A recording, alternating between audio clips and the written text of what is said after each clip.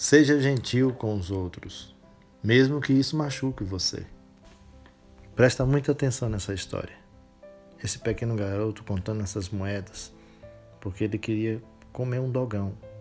Todos comentavam que o dogão era delicioso, era gostoso, suculento, e ele foi para essa lanchonete se deliciar e olhando de longe viu o quanto aqueles homens estavam preparando aquela comida gostosa, deliciosa.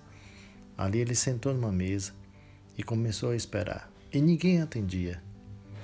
Uma certa garçonete foi à direção dele e colocou um copo d'água na frente dele. A criança, por sim, começou a contar suas moedas. A alegria dele era saber que ele tinha cinco reais na mão. Perguntou para a garçonete: Quanto custa um dogão? Ela respondeu bruscamente: Cinco reais. Ele voltou a contar sua moeda e ela ficou de longe olhando. Ele voltou a perguntar: E um cachorro quente simples? Ela disse: Um real e cinquenta. O menino contou novamente as moedas e disse: Vou querer um simples. A garçonete o colocou na mesa e saiu, e o menino a deliciar, aquela coisa gostosa. Terminou, pagou e saiu. Quando a garçonete voltou para limpar a mesa, ela engoliu seco no que viu.